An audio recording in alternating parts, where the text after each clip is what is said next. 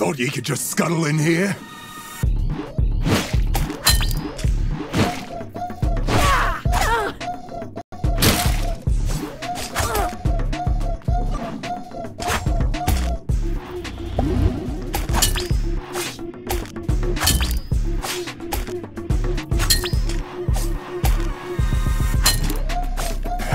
Not worth my time.